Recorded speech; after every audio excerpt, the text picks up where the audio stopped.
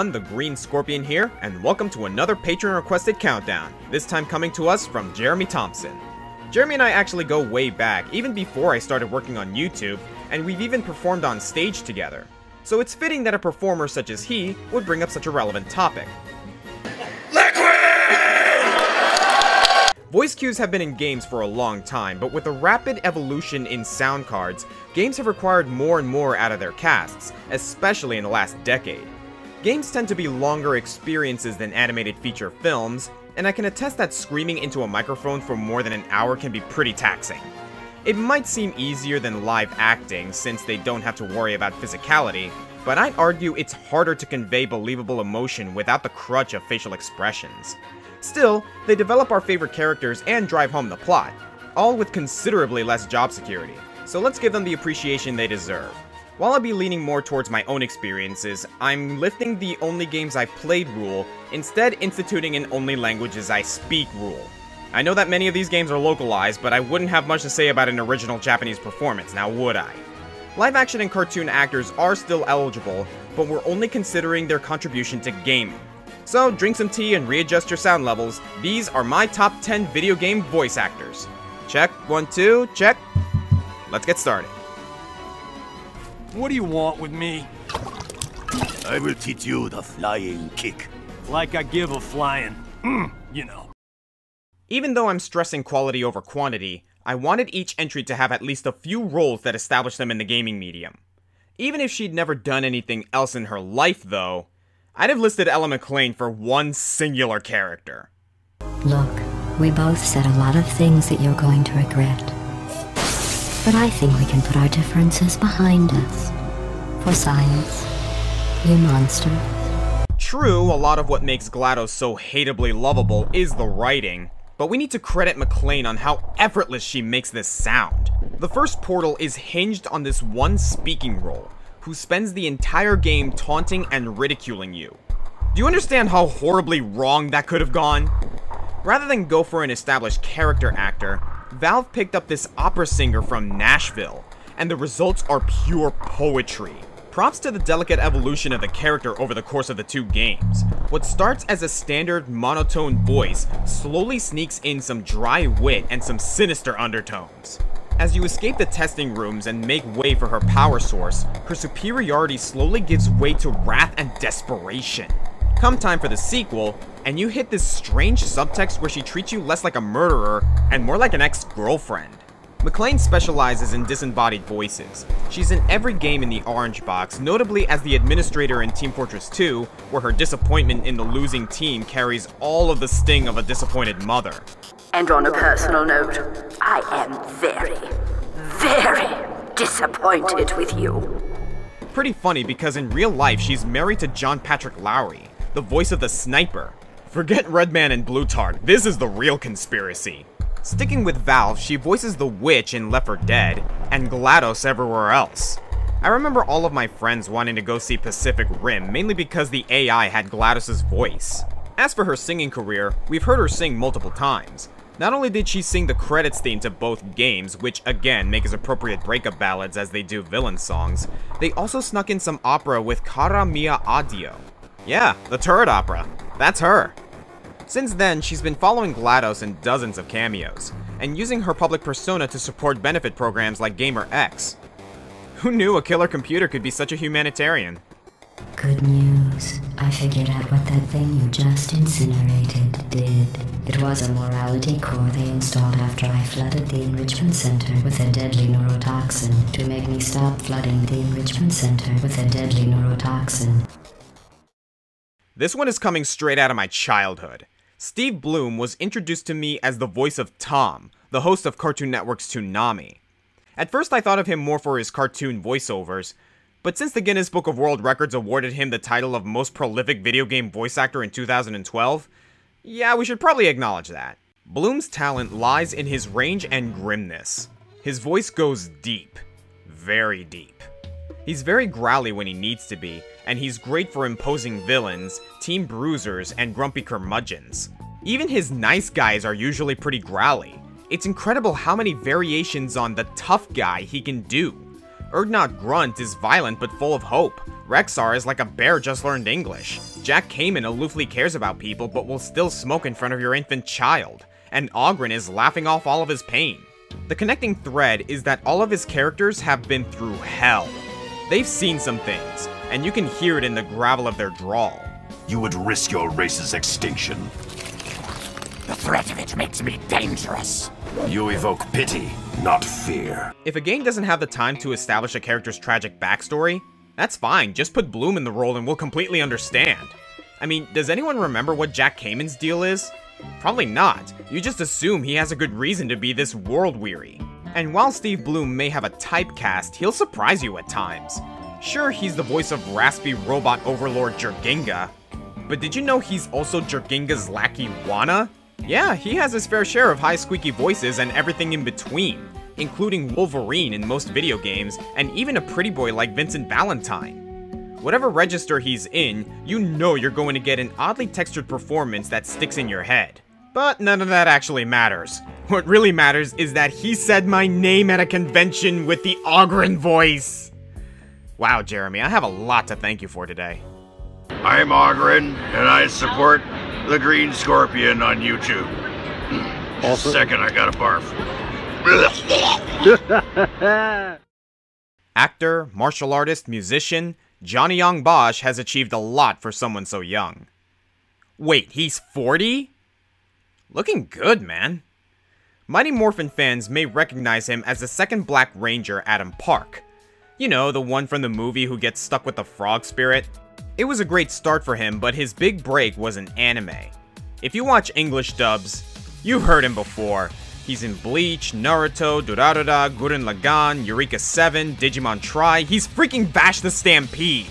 Naturally, he's around for any games based around these animes, but his experience playing cool, ornery, show-offy teenagers easily found use for original characters.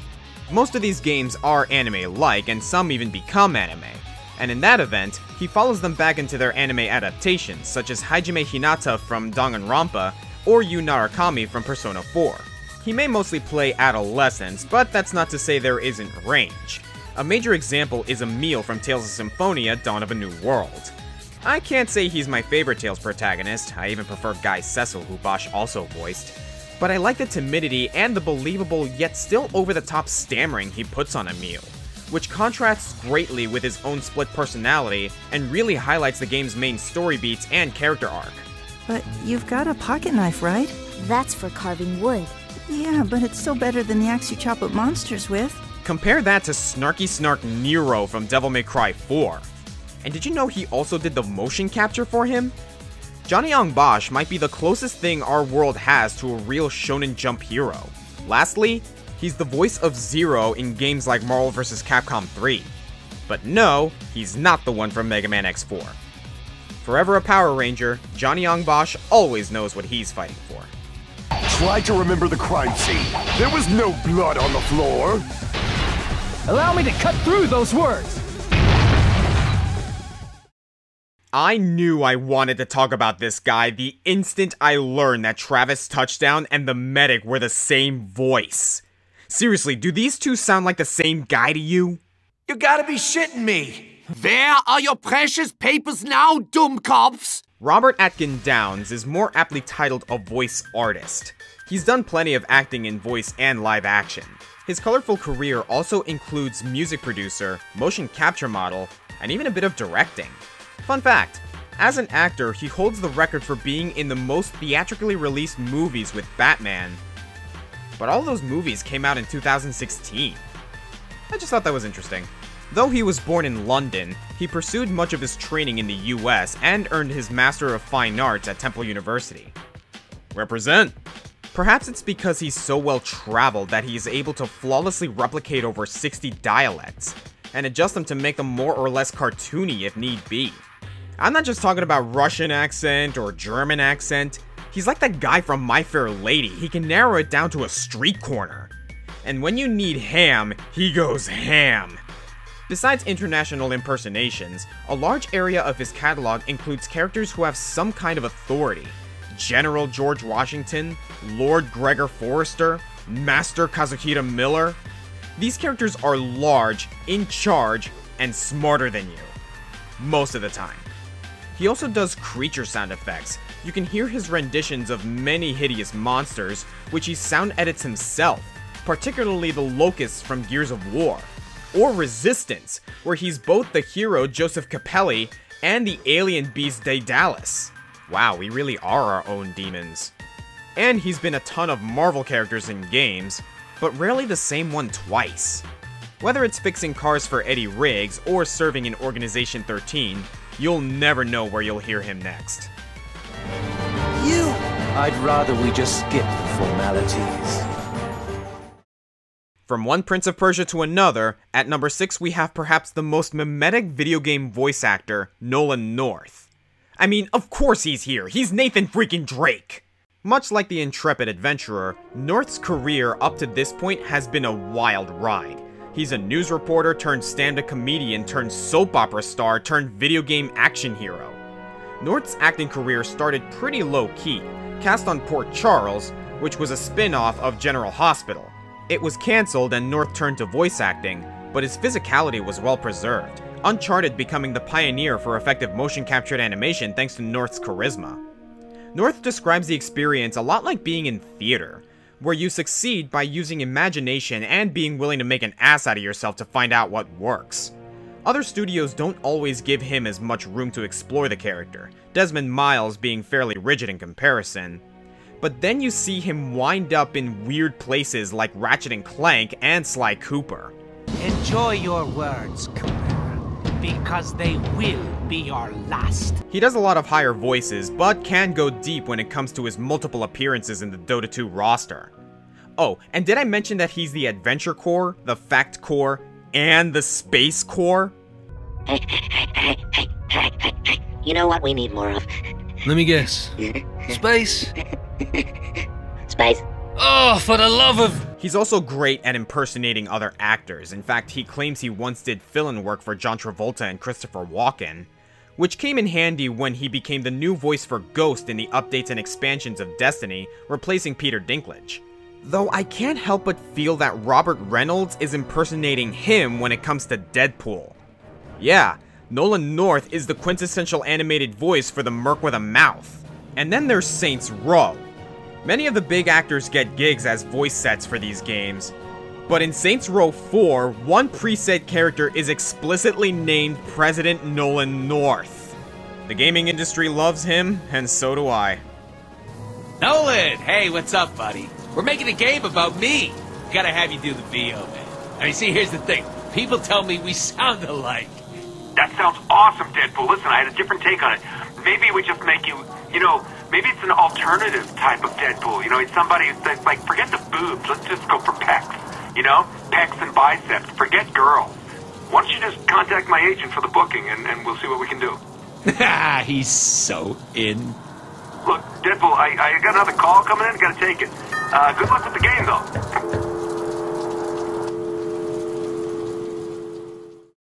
There are nights I lay awake, staring at the ceiling and thinking about my one biggest anxiety. Someday, Charles Martinet is going to retire. Will Mario have a new voice? An imitator? Or will they try to get by just by recycling old voice clips for all eternity? Any way you slice it, the gaming industry will have lost something dear. Seriously, look at this guy! Being the voice of one of the most recognizable characters in any media the world over, he at least needed an honorary spot. But he's not just Mario. He's also Luigi, Baby Mario, Baby Luigi, Toadsworth, Wario, Waluigi, and the Piantas. I don't think he gets enough credit for the Piantas. Those guys sound hilarious. From this one franchise alone, he has practically the longest resume of anyone in the industry. I mean, he's not exactly doing Shakespeare, but hold that thought.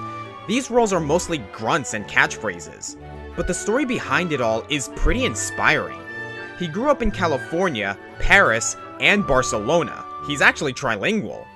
After giving up a law degree in his senior year, he tried some acting classes simply to overcome his own fear of public speaking. This guy! His first Mario gig wasn't even a game. Nintendo was doing a trade show demoing a concept called Mario in Real Time, where a screen would immediately and horrifyingly animate whatever the actor said.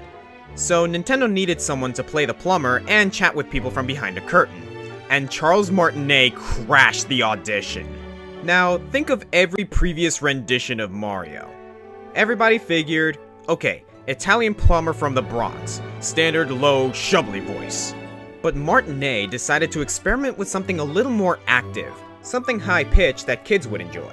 Add his ability to ad lib for hours on end, and Nintendo executives were in love. It's me, Mario. Okie dokie, let's make a pizza pie together. You go get some sausage. I'm gonna get some spaghetti. We're gonna put the spaghetti and the sausage in the sweet pizza. Then I'm gonna chase you with the pizza. If I catch you with the pizza, you gotta chase me with the pizza. But first you gotta eat the pizza. Then you're gonna chase me. Then we're gonna make a spaghetti meatballs. If I make you the spaghetti meatballs, I catch you with the spaghetti meatballs. Then you gotta eat the meatballs. Oh, mamma mia. And it just so happens the higher register perfectly translates in game, complementing the actions of the character. Would launching through space in Super Mario Galaxy have the same charm if our hero didn't jubilate at the top of his lungs? He turns a decent round of golf into a cause for celebration. He's just... he's Mario.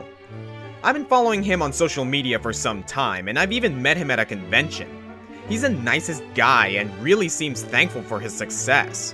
He also makes these vacation videos with his Mario figurines on Facebook. They are delightful. He's elevated the brothers to greater recognition than Mickey Mouse or Bugs Bunny. And given how universal Mario is, it's really amusing to learn what other roles he's lent his voice to. Are you guys ready to have your minds blown? Mario is Orvis, a keeper of time in Ratchet and Clank. Not weird enough for you? Mario is William Shakespeare and Ludwig von Beethoven in Carmen Sandiego's Great Chase Through Time. Wait, I'm not done. Mario is Foulmouth, a 1940s cartoon duck from Cel Damage that speaks almost entirely in expletives. Mario is Vigoro, a muscle-lugging woman-molesting commander from Skies of Arcadia. Mario is the great bearded dragon Paarthurnax. I'm sorry for rambling, I just wanted to improve your life by telling you that. So, you have made your way here to me. No easy task for a jaw, mortal. Even for one of Dovassos, dragon blood. It may not be my cup of tea, but I can't just ignore Halo. I mean, it's a million mile installation floating in the sky. I see it on my way to work. But no, seriously. It's one of those games that got people into games, like Final Fantasy VII or Miss Pac-Man. I know most people played it only for the multiplayer, and the last entry came out with a resounding lack of hype. But to actual fans of the lore, there's a lot to get into, anchored by the charm of its main character, Cortana. Sure, Master Chief is the protagonist and all, but all of the emotion and heart of the story revolves around this artificial intelligence, all thanks to the tireless work of Jen Taylor. Why is it that the AIs are often the most interesting characters? It's not like she's a well-known actress otherwise, being one of the few entries on this list not to come over from television. I think that's part of the characterization though. It feels sincere. And though she's critical to this grand saga with galaxies in the balance, she still has this hometown humility. It's a cool counterpoint playing both Cortana and her creator Dr. Halsey. She puts her all into this script that could feel really sterile in the hands of a less capable actress. And her emotions are easy to read. You know me. When I make a promise. You keep it. I do know how to pick 'em. Lucky me. The character Taylor built is so relatable that to give Halo 4 some humility, 343 Industries had to resort to killing her. Then, at a loss in Halo 5, they bring her back. I guess they didn't think Nathan Fillion would be charming enough. Taylor's resume is quality over quantity, though she has done some other roles here and there. One of her first was Sunny Day, the recurring commentator in Backyard Baseball, Football, and Basketball. Man, those games take me back. She's also Lieutenant Kira Stokes in Fear 2. She's a few characters in Dota 2. She was Princess Peach. She's Zoe from Left 4 Dead. Wait, wait, go back! She was Princess Peach? Yeah. She held the role for 10 years. Also Toad, Toadette, a few times Daisy, and in one interesting case, Birdo.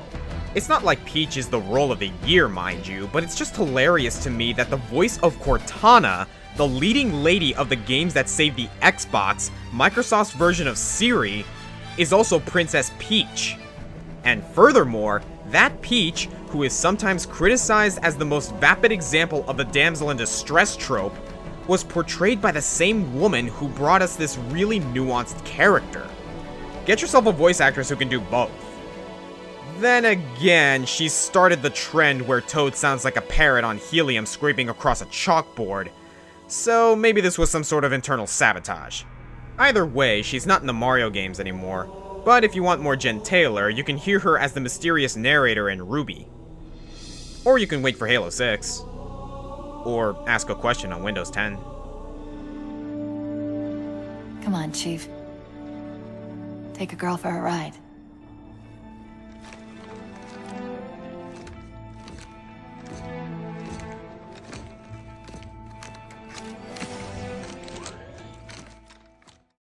The previous three entries have been notable for one particular role, but Laura Bailey is a jack of all trades. Starting off as an acting major in a Texas community college, Bailey was scouted to audition for Funimation when they were just beginning to dub anime. She was appreciated for her unexpected and endearing character choices, like the raspiness she added to Kid Trunks in Dragon Ball Z. Not to linger on anime too much, but she also got the lead role as Tohru in Fruits Basket and in interviews she says that she's gotten a lot of inspiration from the character for her unwavering optimism. I think that's why I like Laura Bailey. I feel she really listens to and internalizes her characters. I love Bianca from Dragon Age, that rare example of a woman dwarf, and I think she saves Gears of War 4 as Kait Diaz. She's sometimes the voice of Omochao, which normally I would dock points for, I hate that thing. But she's also a bunch of Silent Hill characters, so I'll look the other way. And Huepow from Klonoa? Why are you trying to make me cry here? She spent a lot of time doing stage plays in college, which shows through her ability to sculpt monologues. Listen to some of Lady Comstock's audio logs, the ups and downs of her delivery really draw you in, feeling really dramatic but at the same time like a real part of this world. Or her sudden mood swings in Catherine. It's seriously unnerving. Careful, you keep making faces like that and you'll start getting wrinkles. You old granny. As a result, it's not surprising that she's also now a voice director for many projects. She's married to another successful voice actor, Travis Willingham, which creates even better celebrity couples than the administrator and the sniper. So, get this. Chun-Li is married to Guile. Blaze is married to Knuckles, and my favorite, Lust, is married to Roy Mustang. How's that for a lover's quarrel? She may not be Mario or Cortana or Nathan Drake, but those big names shouldn't distract us from her remarkable repertoire. A menagerie of colorful, detailed, and beloved characters. And also Omochao. Whether you need a simple action hero or a nuanced case study, Laura Bailey's probably the actress for you. And if not, well, she certainly knows how to curse you out. Start making sense, you rotten book, or you're gonna be sorry. Maybe I'll rip your pages out one by one, or maybe I'll put you in the goddamn furnace. How can someone with such a big smart brain get hypnotized like a little bitch, huh? Oh, Shadow Lord, I love you, Shadow Lord. Come over here and give Vice a big sloppy kiss, Shadow Lord. Now pull your head out of your goddamn ass and start fucking helping us! You know what's hard? Playing the main character. It's a lot of pressure to be had. You know what's even harder? Playing a character people actually want to be around. When you need the latter, though, there's one choice that beats all the rest Jennifer Hale. Jennifer Hale and Laura Bailey were neck and neck in the rankings for me, both great actresses who've done substantial work. While Bailey has a longer docket of notable roles, I think Hale's characters are harder to play, and result in compelling, multi-dimensional characters every single time. And we are so lucky to have her. She originally was focused on her rock band, and doing voiceover work was just a way to pay for equipment until she discovered she really loved it. She has a lot of cartoon credit as well, with some humble roles really important to my childhood, including Miss Keen, Cat and Avatar Kyoshi. Oh, and the majority of the women Johnny Bravo hits on, oddly enough. But her career's brightest achievements are in video games. So here's the thing about video game heroes. Oftentimes, they don't talk a lot. Many games prefer to keep a protagonist mostly silent, making it easier for the player to imagine themselves in the role. This is especially true in Hale's genre of choice, Western RPGs. The critical voice jobs here are the companions, the ones with all the lines, the voice you're usually listening to. Characters like Ophelia from Brutal Legend, Bastila Shan from Knights of the Old Republic, Naomi Hunter from Metal Gear Solid. And when I say these roles are difficult, I mean they'd be really easy to make boring. They're always so grounded and relatable, even the fantastic ones. How do you make a half-naked assassin with five lightsabers so freaking poignant? You are the crownless king, the one who got out. You reached the top, then walked away. Well, it helps that she's been doing it for so long. She's in some of the earliest voice-capable games, Baldur's Gate, X-Wing vs. TIE Fighter, even Math Blasters. So to see all of that experience culminate in a performance like Dragon Age's Krem Aclassi, it's a treat. And it's not like she's incapable of the starring role either, she's Commander Shepard for crying out loud. And the good Samus Aran. While others may stand out, memorable for their work, Hale dissolves, fameless into the body of her career. Her peers have referred to her as the Meryl Streep of game voiceovers, and yet she's very unrecognized. And she's okay with that. It ties into Hale's philosophy on performing. She's quoted as saying that she enjoys her anonymity, because in games, the player's experience is primary. She just wants to help you have the best experience possible. Yet for her characters to be so dynamic and empathetic, yeah, Meryl Streep seems fitting. Jennifer Hale, you deserve an Oscar. Surprising. Surprising that it worked. Surprising that it didn't kill him. But a magnetic repulsive field around one's body can come in handy. If it doesn't kill you. A fair point. Troy Baker. It has to be Troy Baker. I mean, I don't want to apply scaling value to real people who actually exist here, but Troy mother effing Baker! Previously a radio announcer and member of indie rock bands, Troy Baker also fell into Funimation, and I'd tell you about his work in anime, but we just don't have the time. There's too much gaming to cover. I mentioned a second ago with Jennifer Hale that as companion characters, she gets a lot of lines, because oftentimes player characters are blank slates you can paint yourself on. Troy Baker breaks that curve. Usually in the starring role, his voice work is expressive and distinct, bursting with grizzled personality while still being completely sympathetic. When his characters lie, you know what's really going on in their head. You hear every emotional beat change in his performance, and it doesn't take away from the story or gameplay. It enhances the experience. His first big role was Sergeant Matt Baker from Brothers in Arms, and after that, he just snowballed down a mountain of gigs. He's got the flawed, morally conflicted anti-anti-hero thing down to a science, but never sticks too much into a cliched pattern. The variations in this theme inform us of the entire world for the game he's in. Like the difference between Shadow of Mordor's Talion and Catherine's Vincent Brooks. Both are emotionally exhausted everymen who can justify hurting people around them. But one game is a dark survivalist sandbox while the other is a quirky, introspective romance drama. And you understand the tone of these games as soon as you meet the hero. Of course, the actions of a character are largely the work of a writer, but it's Baker's performance that gives them emotional weight.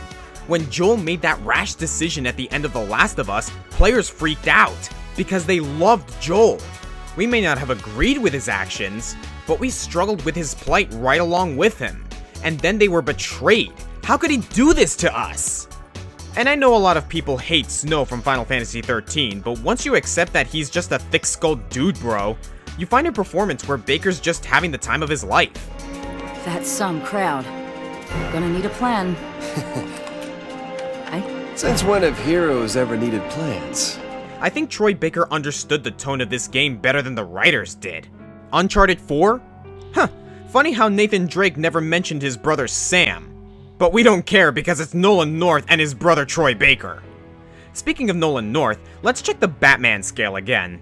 Troy Baker has played Batman, and Robin, and the Joker.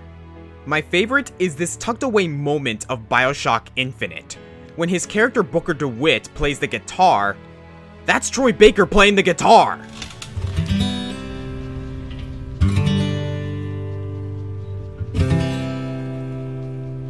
Will the circle be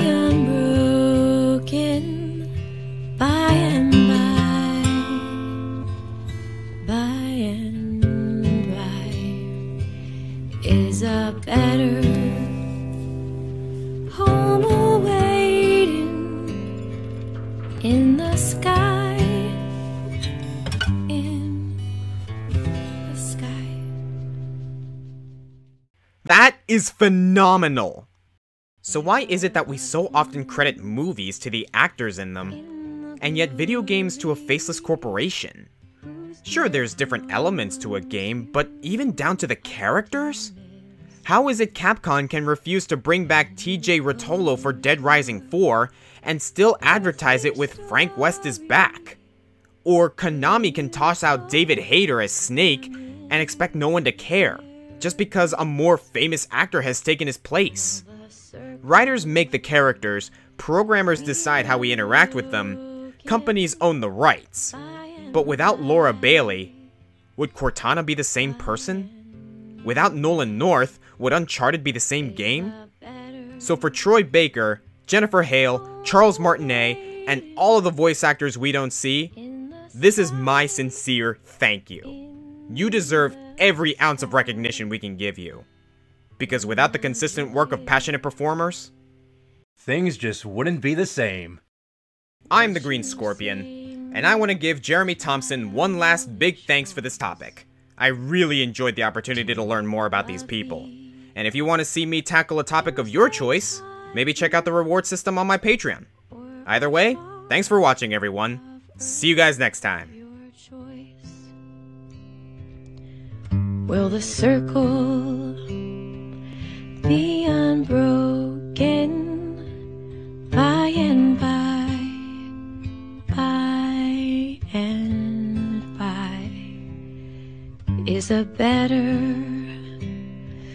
home awaiting in the sky,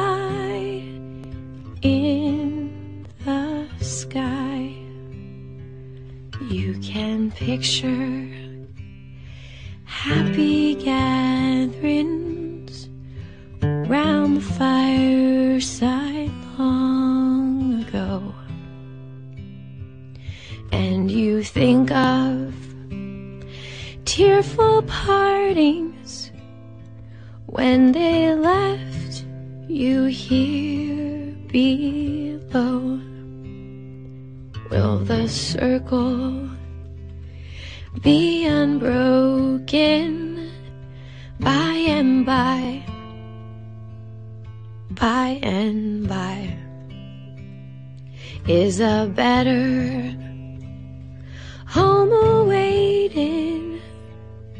in the sky,